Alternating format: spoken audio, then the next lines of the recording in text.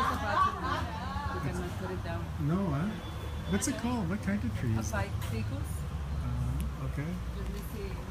It must be very old, eh? To be so big? Yes, it is. like hundreds of years old. eh?